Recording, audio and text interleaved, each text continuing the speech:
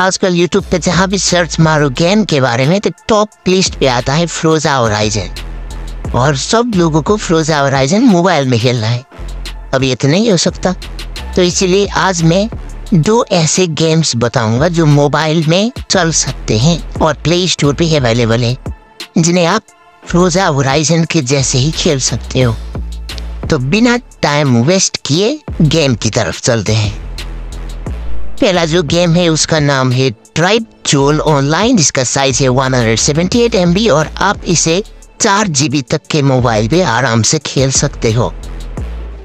Download हो जाने के बाद इस गेम की साइज़ लगभग दो जीबी तक पहुँच जाता है। दूसरी गेम का नाम है कार एक्स स्ट्रीट जिसका साइज़ है 1.1 जीबी और ये सिर्फ़ हाई एंड डिवाइस के लिए बना है। इसे आप छः जी रैम के मोबाइल पे लो सेटिंग में अच्छे से खेल सकते हो। अगर आपके पास एट जी रैम वाले मोबाइल है तो आप उनमें अच्छे से खेल सकते हो।